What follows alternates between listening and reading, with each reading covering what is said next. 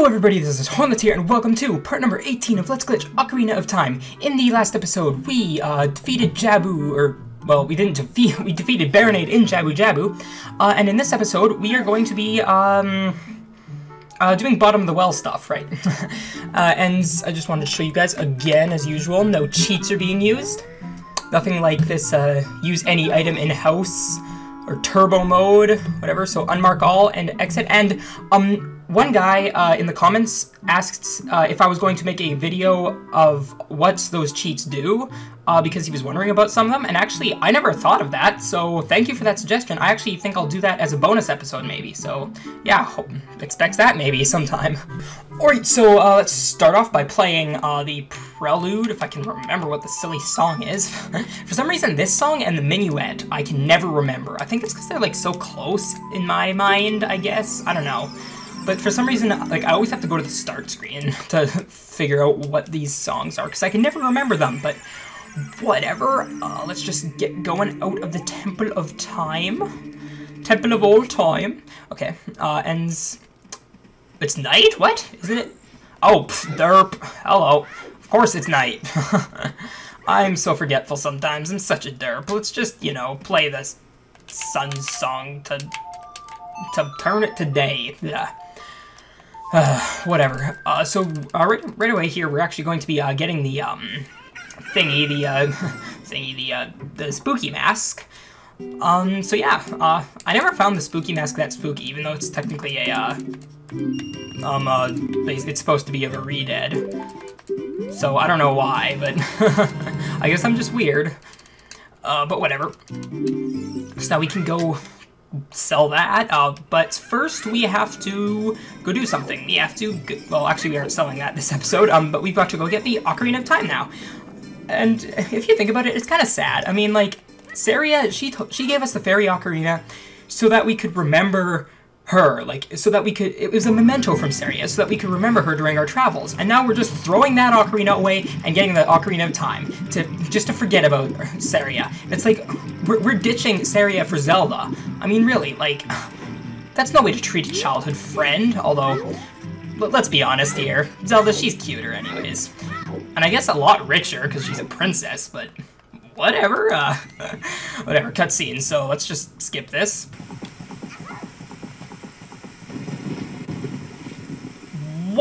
That is one good arm, Zelda.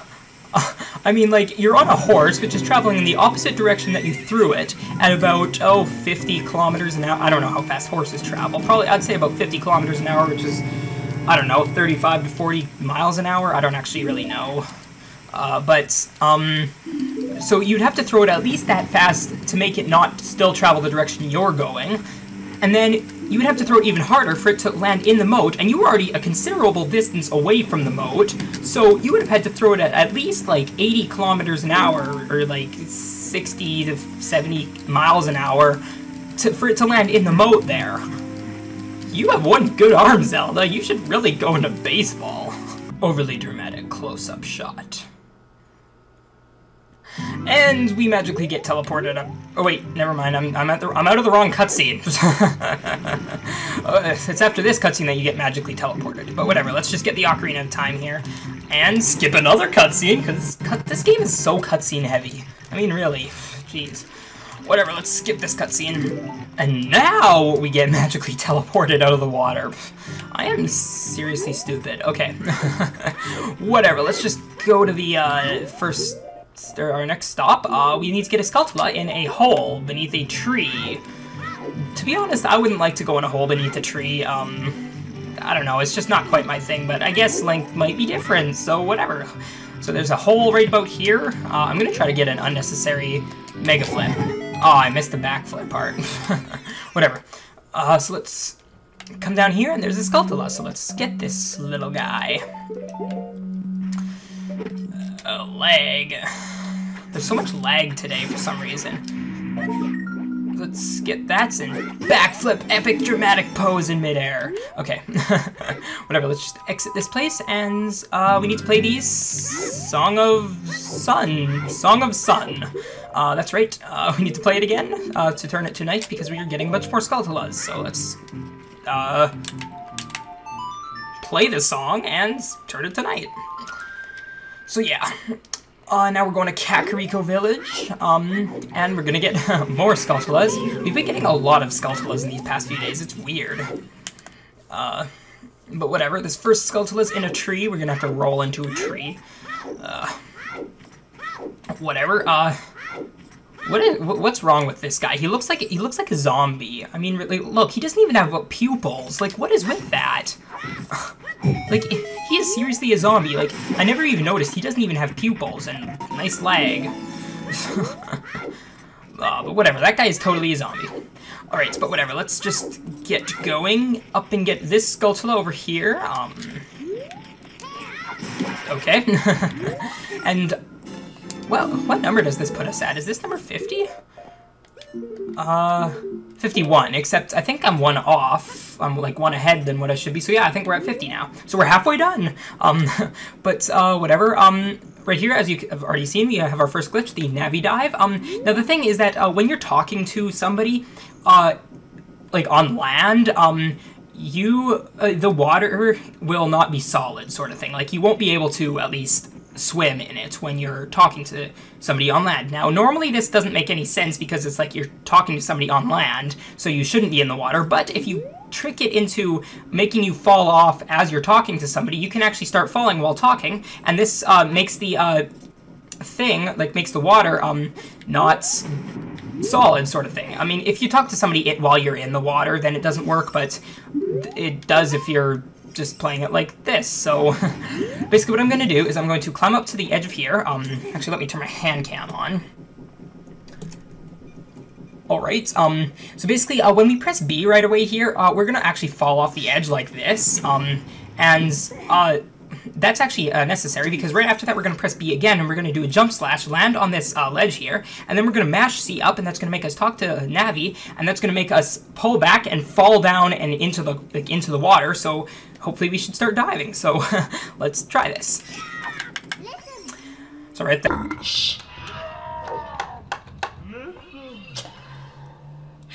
There, and we just fall to the bottom, and we can just get out here uh, to the bottom of the well, which is nice. So we skip like a lot of the game. Uh, now, a really funny story. Um, I had a, I had a fa failed recording session where I failed that trick. That is one of the easiest tricks in the game, and I failed it. I mean, really, like, now to be fair, it was like a stupid fail. Like, I wasn't even, uh, like, I did everything right. It just somehow glitched out and stopped, didn't work, but whatever. Uh, that's, it was really weird. But uh, right here we've got our first key that we need to get. Um, now, if you don't know the uh, layout of the of the bottom of the well very well, then you're gonna have a bad time. That was totally not an intended reference, but I guess that happened. Um, whatever. Um, because yeah, there are a bunch of invisible walls here, or not invisible walls, but like fake walls that's uh, you, you need to go through. Um, so yeah, that's kind of that. Um, but I know the route really well, so if you just follow what I'm doing, kind of, then you should be fine. Um, if you're even doing this, or if you just want to watch, that's fine too. Um, now right here, I'm gonna try. I don't actually know how to do it. Um, I'm gonna try and. Okay. Um, maybe one more roll. Uh, because there's a boomerang trick you can use to uh, get this key without actually um lighting the torches. Uh, I've never actually gotten it. That's mostly because I just don't know how to do it, but uh, apparently I just can't get it, so I'm just going to do it normally. Aw. oh. Pff. Stupid though. Go home. You're dead. okay, so let's light this torch and go grave opening, I guess? Because it's technically not grave digging, because we're not digging for graves. They're already out in the open. Oh, that's why everything's lagging. this thing just uh, sort of popped up in my computer that said, Updates are ready for you, computer. I hate it when that happens. But luckily, I'm on Windows XP, and so it hopefully uh, shouldn't, you know, automatically randomly update like Vista does. Whatever. Uh, so let's just get out of here. Uh, we have two keys, and we're gonna get some Skulltulas with this lag. Please, stop. Oh my goodness. Uh, whatever, so let's just get going. Um, uh, is there an invisible wall somewhere right here? I, I feel there is. No, there wasn't for some reason. Maybe it's, oops, on this side. Hello, come on, there we go. Okay, so we're gonna start by opening this door over here. It doesn't really matter which order you open these doors in and do them, it's just, I don't know, I'm doing this one first. Because I can, and it's free. Fight me. I'm kidding. Okay. um, so now let's just kill this Skulltula guy.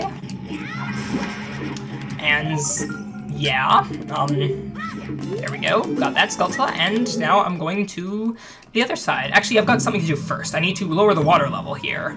Uh, yeah, the water temple isn't the only place you lower the water level. uh, so let's just, uh, play this, Zelda's Lullaby here. And lower the water level. So, yeah.